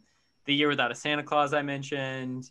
Um, we no, we didn't talk about a Christmas Story. Um, which is one of the classics that like people older than us really love and are attached to. Um, but it's it's it's it's a, it's a little delight. It's it's other than like the weird anti-Asian racism at the end, uh, which is just so unnecessary and so unfunny, and it comes out of nowhere, and it just it it really rang like there was a producer on the movie who just like really was like feeling racist and was like have this scene in there or the film doesn't get made um Is that because they like go get like Chinese food on Christmas night or Yeah. something like that? Yeah, it's they the the fararara thing. Yeah. yeah, I'm saying Yeah. that because I'm Asian. it, Ugh. it- honestly i was having a perfectly delightful time with it and it's just so cringe at the end it like I used to laugh at that. I used to laugh. I'm guessing I probably did too. I'm I don't know. It's- Well, it's all a growth. Uh, we're all on a journey, right? yeah. Um, we'll also uh, we didn't talk about Nightmare Before Christmas, um, which I think deserves a one of the shout outs for being a movie you can watch on Halloween as well as Christmas and be satisfied with both. Um, and uh, I'm last final shout out is an anti shout out, and I'm glad we didn't talk about uh, National Lampoon's Christmas Vacation because Chevy Chase is a smug asshole, and I really detested that movie when I watched it with my parents the other year. All right, fuck them. I think it's really something that you grow like I did not grow up with it and I yeah, I don't like it. Mm. um let's see. Okay. Well, I, I would be remiss if I did not mention uh 2017's Pottersville starring Michael Shannon, Judy Greer, Christina Hendricks, Thomas Lennon, Ian, Mc- Ian McShane, Ron Perlman, and everyone else who's ever lived. In a star-studded um absolute mystery of a film I, uh, i want to talk about the plot of it but it's like a spoiler. I highly highly highly encourage all of you to ingest some sort of substance and watch this film. Um and you know if you don't get through all of it that's okay. I don't i think i did but with like it was with a lot of toil. Um but it is one of the most batshit things i've ever seen in my life. It is also one of the most horrible things i've ever seen in my life. Um but i can't tell you what happens in it because when it does you will combust um it ha- i'm sorry i'm gonna check the rotten tomato score. Uh what do we got? We got a uh come on come on come on. Hello? It has an awful Letterboxd score. Um, what is it? It's 2.1. Okay, that's not that bad. Um, but I guess all of my my friends on Letterboxd have given it one star or a half star. i think it's the kind of thing yeah okay wait does it have a z- does it have a zero percent on rotten tomatoes yes it has a zero percent It takes a Um, certain intellectual curiosity to really understand it. I, I don't expect you. Uh, Um, Pottersville is one of two things: the worst Christmas movie ever, or the best Christmas movie ever. Um, I can tell you which one of those it is, but anyway, um, another one that I, for some reason, like I watched this every weekend at my friend's house. Any unaccompanied minors fans in the house? uh, no. Never Okay saw it. imagine a group of ragtag um, under 18s are stuck in an airport overnight. When um, heavy snow blocks all the runways and um, lewis black the um, scrooge like i guess he runs the airport. What do you call someone who runs an airport? He's that.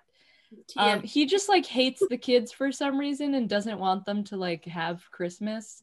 And they're like determined to like go around on like the little golf carts and like do random shit. Oh i think they're trying to like do something for the main character's little sister to like give her a good christmas. It's not good but um it's great. And mindy kaling and like a bunch of random other people just kind of pop up in it. It's from like um it's from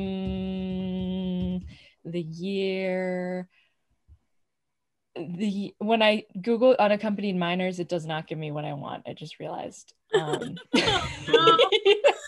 um it's Better from probably our when we were in middle school okay next is mickey's once upon a christmas i don't know if anybody Mm. noticed my zoom name today yeah. um but Scrooge McDuck in honor of the great Scrooge McDuck. Um, I I mean I live for Huey, Dewey, and Louie and anything goofy related. I actually wrote a paper in school about um how like Mickey Mouse, every you know, everyone talks about how Mickey Mouse was born out of the character, like Chaplin's character of the Little Tramp. Mhm. I made the case that Goofy is a um kind of a a, a parallel with a twist. Anyway, uh, better watch out. I just watched the first time. It's awesome. It came out what like less than ten years ago, and it has that kid Levi Miller, um, who's just like a kid and everything. You know, I don't know if he's still around really, but it's a like a a fun kind of psychological slasher um and everyone in it and like the people who made it are australian it was filmed in sydney but it's American and everyone just has American accents in it, which is fun. Um, but it's really good. It has like um, a twist that I didn't see coming that was cool and but like it doesn't kind of uh, fizzle out once the twist happens, which is hard to do. Uh, any of the Little Women adaptations, pretty much. I mean, Mm. Greta's is like, like pretty high up there. Mm. Um, Christmas in Connecticut is great, and then all the other ones I have uh, have been mentioned. Yeah, um, both Grinches. Uh, there might be more than two, but the animated one and the Jim Carrey one. Big fan of both of those. Was gonna also say Little Women, but just the Greta Gerwig one. I'm not the biggest fan of the uh, Christian Bale. Um, forgetting who else is in that. Is Kirsten Dunst in that one? Winona Ryder, Chris, Kirsten Dunst, um, K- uh, Kate, uh, blah blah blah, Claire Danes. Sorry, Oh, Claire Danes. yeah. um yeah yeah that's the only other one i've seen and wasn't as big of a fan of that one but then um past that um the original high school musical and uh that's all i've got Interesting. That is kind of Christmas vibes, don't they? i was thinking new year's vibes Yeah, New because Year's, yeah. the original like the first opening 15 minutes or so were all new year's and you know he's hooping he doesn't want to go give his attention to the other teens at the uh Teen party. snow snow snow party yeah yeah um but then he sings karaoke and uh, it's it's awesome so And big- is born. big big fan of those movies haven't yet checked out the uh series on disney plus but perhaps over this Oh, nice high break It musical. is excellent. I'm not being like I don't have a shred of irony in what I'm saying right now. Like it is great. I really recommend it.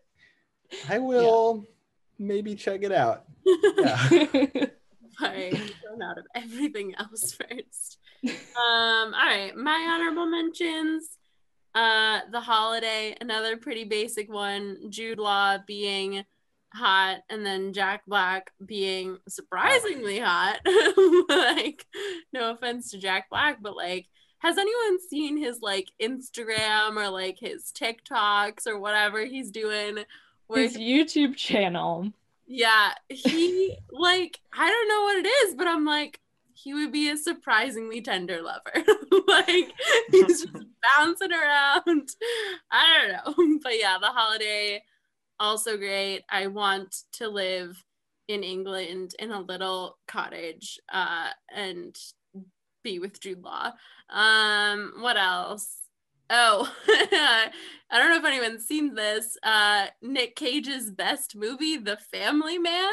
Where has anyone seen it? A great Christmas movie. Like, genuinely, I mean, National Treasure is his best performance, in my opinion, but this is a close second. is that the one where like he is like a rich banker and then he has yeah yeah i've seen that movie Yep. yeah good movie i like that movie He's a rich banker, and then can't remember what happens. It's been a while since I've seen it. It was just one of those ones. get, it's like a parallel universe thing right Yeah, and he like turns into Oh, like a he may he might be like being robbed or something. But anyways, he wakes up the next morning and he's he took a different path in life, a sliding door situation, and he uh has sex with his like college sweetheart or whatever who's like a nonprofit lawyer and he has children and he hates them and he's poor and he hates being poor but he's discovered the true meaning of life which is being poor but happy in America. We can't let our poor people be sad. um, but yeah, so that one, Family Man. What else? Some recent watches that I've had. What was the like animated one on Netflix? Like Klaus. Klaus, yeah. really good. Like really loved it. So like was funny, was adorable, which is my qualifications for any movie. Adorable, I will love it. Um, so yeah, Klaus. Um, and then weirdly, Bad Mom's Christmas with uh, Mila Kunis. Uh, really good. Like it was really funny. Obviously not amazing, but just a fun gal pals having fun watching Santa strip um, and being bad moms, as the title might suggest. Uh, just something to aspire to. Um, That's in a if we did a top five prosthetic dicks um in film, Mhm. Bad Mom's Christmas has to be included in that. Uh, don't spoil anything. I I watched uh, half of that movie actually the other day because I went over to hang out with my girlfriend and she tricked me and said, "Oh, I'm not doing anything." And when I got there, she was like, "Oh, we're watching Bad Mom's Christmas." Um, the only way to get someone to watch it. Um, yeah, and then happiest season, not as good as I would have hoped. Um, yeah, I don't know. I was just basically angry at the main character the entire time. Kristen Stewart was her normal stuttering, awkward self, which you know she does. She does it well. Um, but yeah, watched it for Dan Levy. I was on a Schitt's Creek kind of a marathon watching over the past couple of couple of months. He was good in it. He because he basically just plays himself. yeah, um, that's kind of like slightly annoying, um, but funny man. And then yeah, but not as good as I would have hoped, but still consumed it.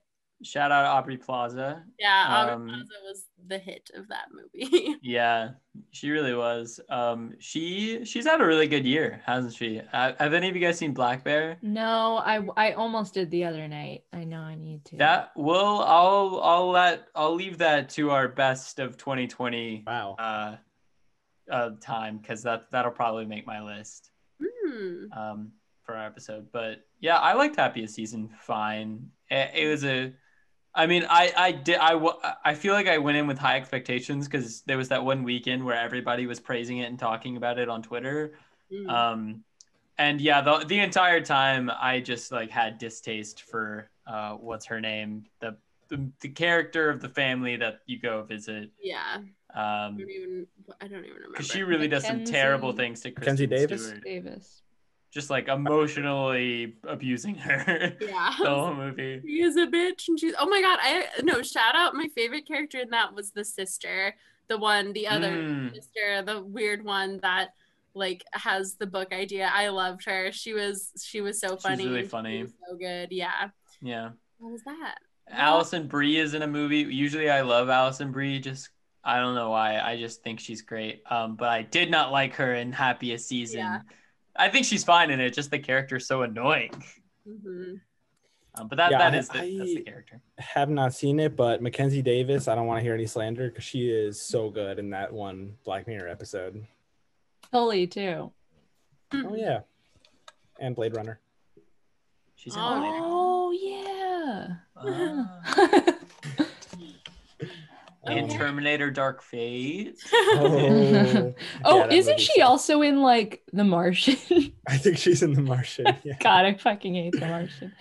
What? I'm sorry, I hate it. still I hate see it, and like my parents' love for it makes me hate it more. He makes p- potatoes out of poopy. It's so it's literally it's like one of the least memorable movies I've ever seen. Mackenzie Davis also was in my least favorite movie of this year, uh, Turning or The Turning with the annoying little kid from Stranger Things. Finn Wolfhard. Horrible, horrible Oh, movie. I saw it because I still had uh, Regal Unlimited and the Mhm. movie theater was still open. So thank God. Like I, I miss, I would watch The Turning in a theater right now if I could, but Oh, Mm, doesn't shit. that also do like Brooklyn Prince dirty? Isn't she in that? From Florida Project, the little girl. maybe. I think Oh, she wait. is. That's an adaptation of The Turn of the Screw, uh, which is the Bly Oh, Manor. Yeah. Um, and the I watched The Innocents recently, um, which is the 1960 film vers- version of Oh. The Turn of the Screw. Good Instant- segue. Talk instant about what favorite. you're talking about. What you've been watching lately, Caleb.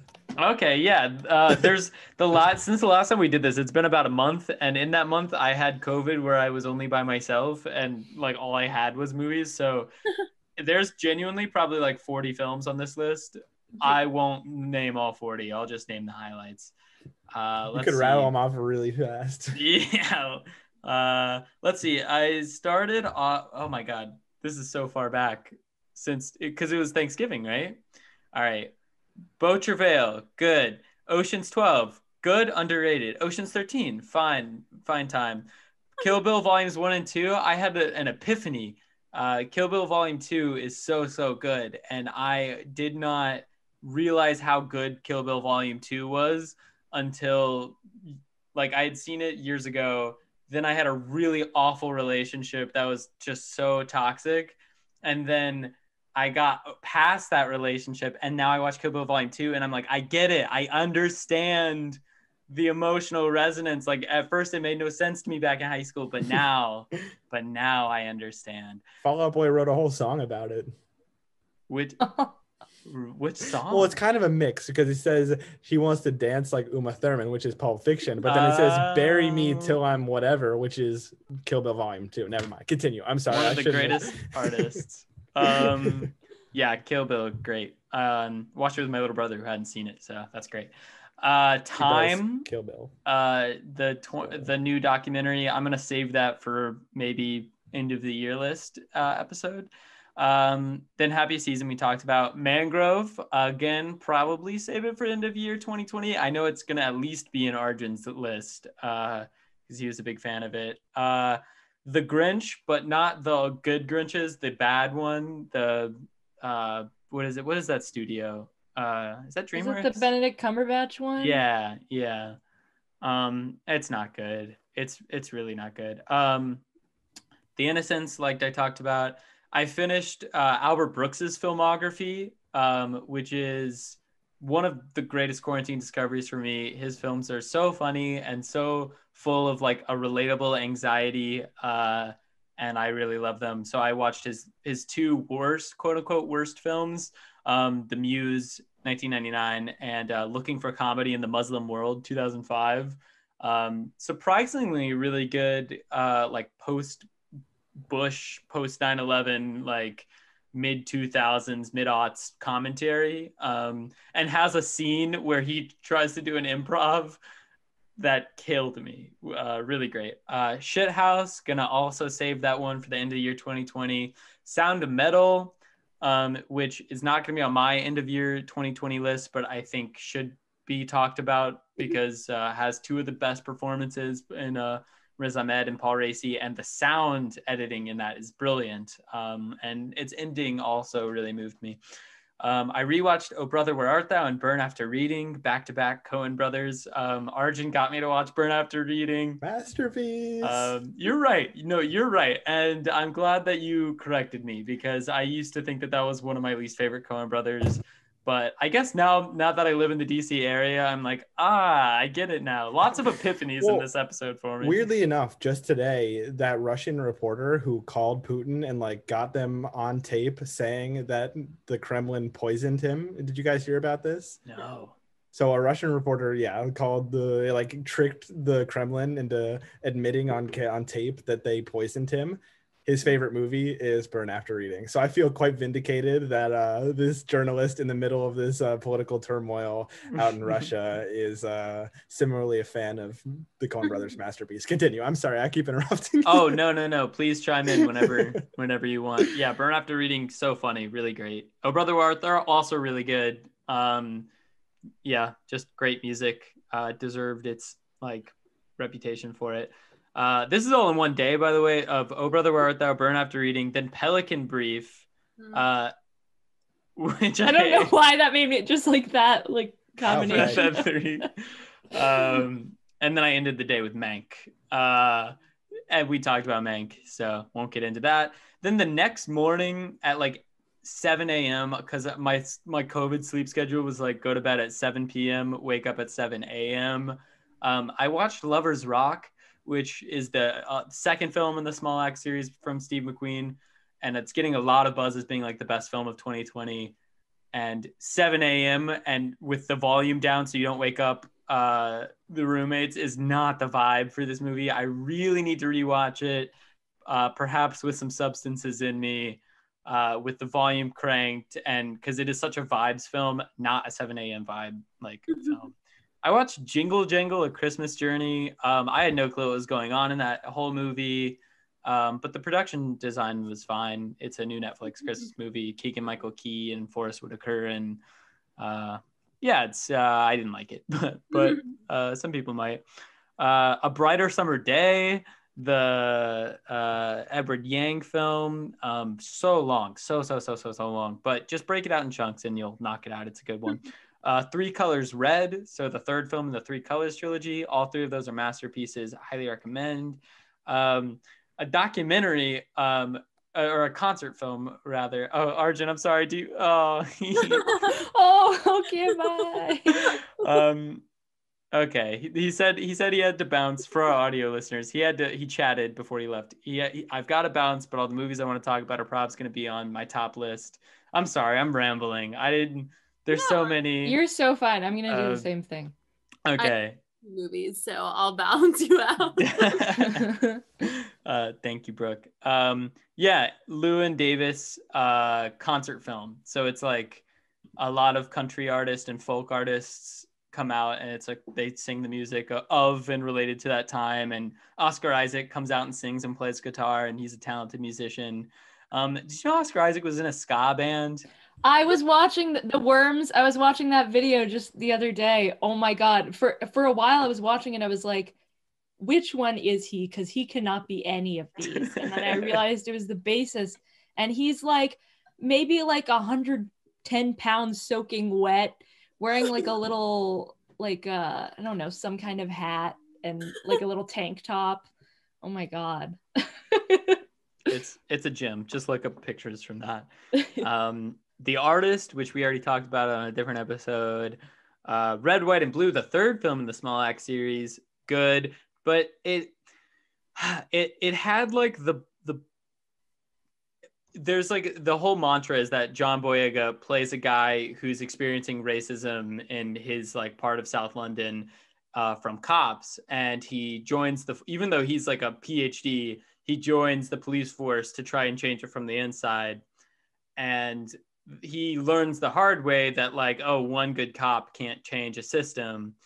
And i wish the balls the film had the balls to to put the period there but we get an ellipses instead. And it's kind of like well i don't know cops maybe are good. And uh, um, maybe that's just not for me.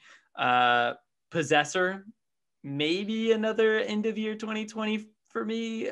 Alicia, have you seen it? You're nodding no, your head. No, but like okay. it's been it, I keep I just keep almost watching it. Yeah.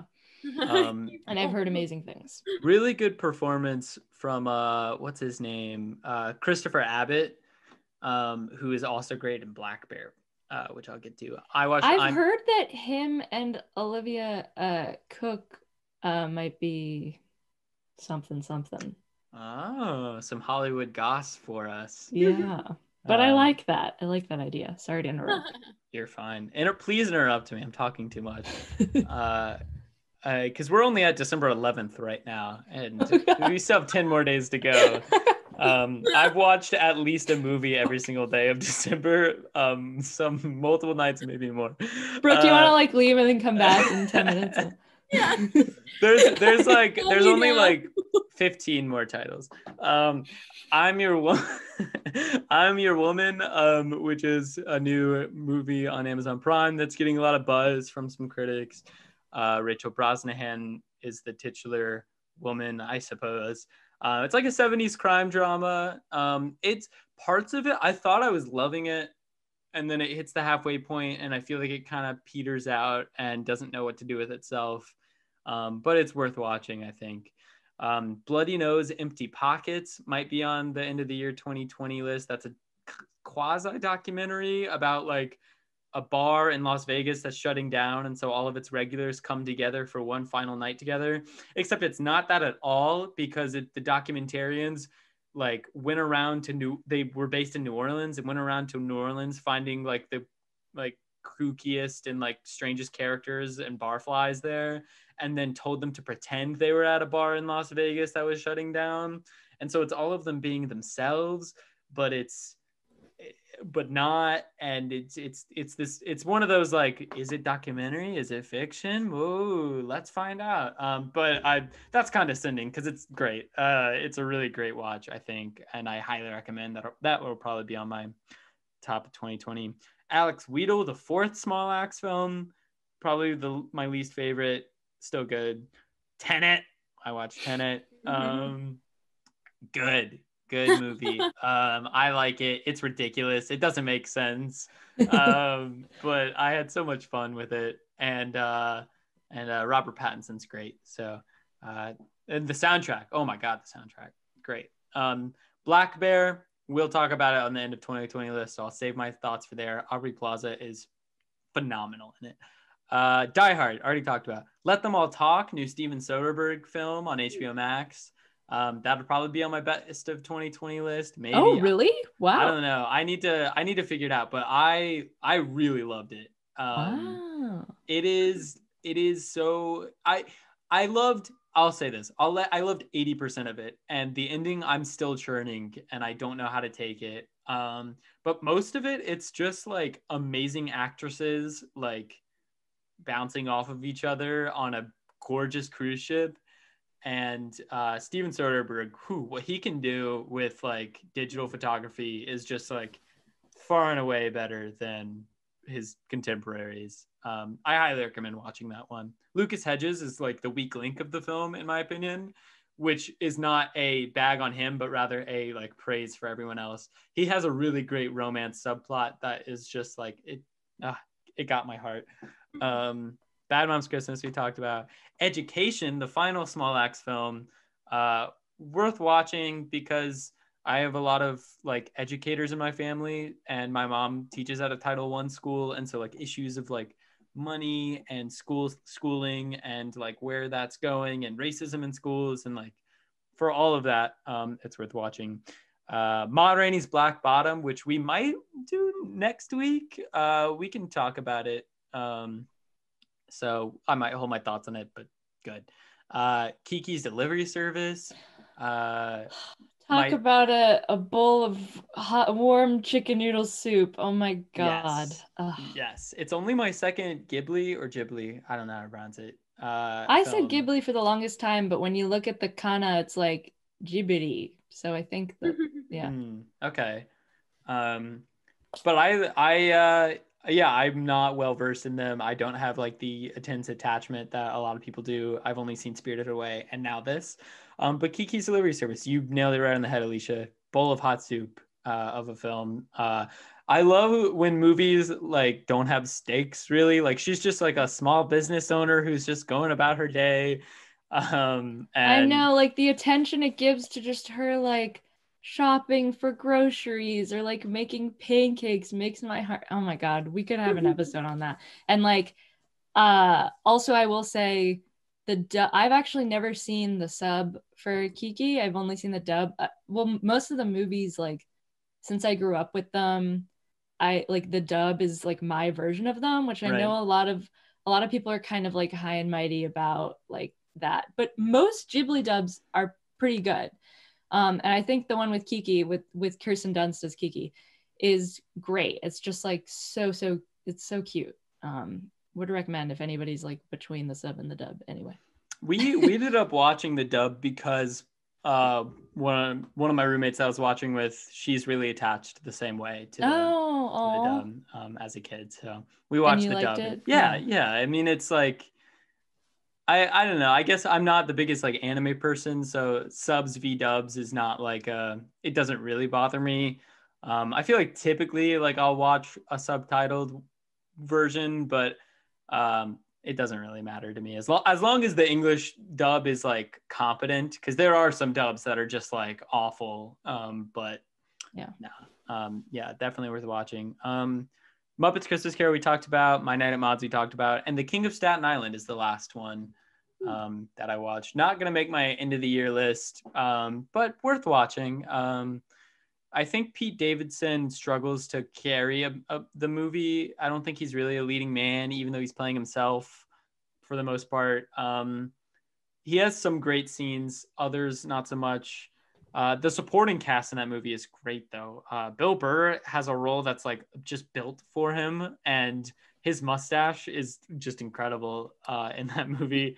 Uh, Bel Powley, it was the real standout to me in King of Staten Island, and she should have had more screen time, especially because she her like subplot is kind of the way that they wrap up the film, and it would have felt a lot more earned, especially for its its runtime is two hours and fifteen minutes. That's like it is a long movie, uh, Yeah.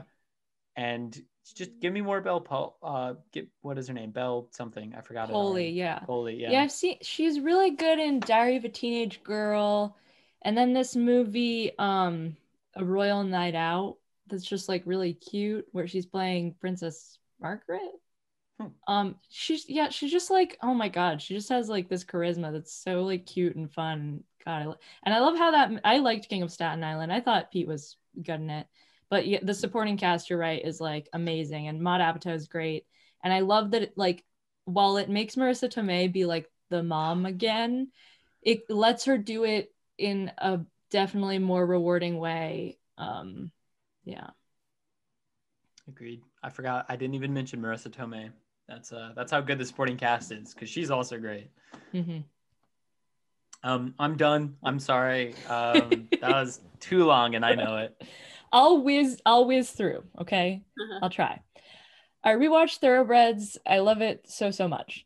I watched the personal history of David Copperfield, um, which I kind of did not want to watch because it really just didn't seem like my thing. I think Dev Patel is awesome, but I just I didn't really want to, and but it was the only thing my family could agree on. And then I found it so charming. Like the cast is unreal. The cast is amazing. The score is just like really delightful.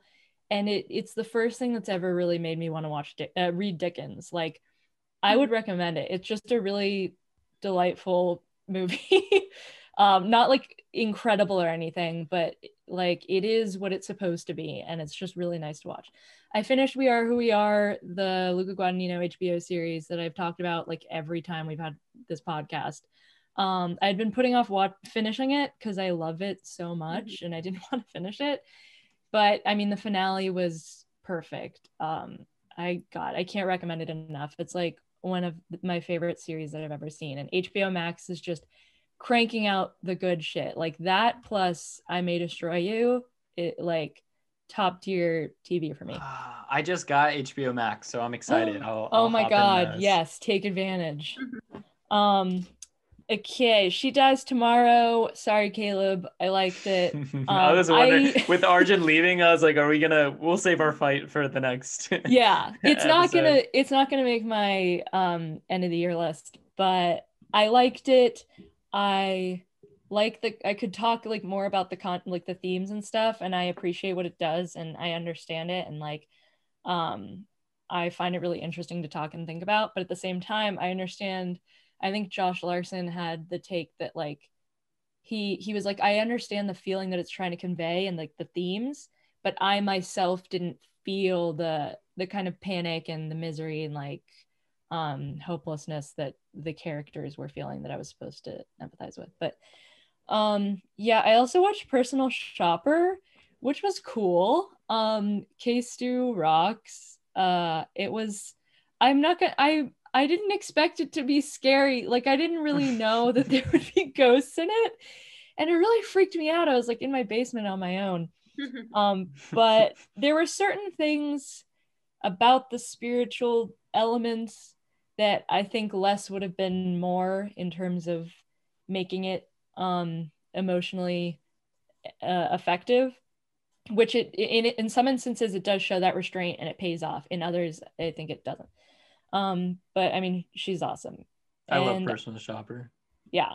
Um i just love that kind of movie. I don't know how to describe it but like i was in the mood Like- for that specific kind of movie. Like ghost stories. I guess you didn't know it was a ghost story, but like I want to put together a list of ghost stories that aren't spooky so much as sad. yeah yeah yeah yeah yeah that's i mean the past like 10 years that's definitely been its own genre Hmm. Um, Scandal in Sorrento, which is a 1955 movie starring Sophia Loren and Vittorio De Sica, um, who I didn't know like acted in a comedic way ever. He's it's it's funny in a lot of ways. It's like a very um like cute and amusing movie on the whole.